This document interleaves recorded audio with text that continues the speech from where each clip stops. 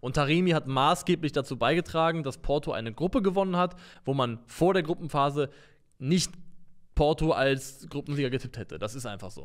Und Porto habe ich dann auf der 1 als portugiesischer Meister. Wo man vor der Gruppenphase nicht Porto als Gruppensieger getippt hätte. Das ist einfach so.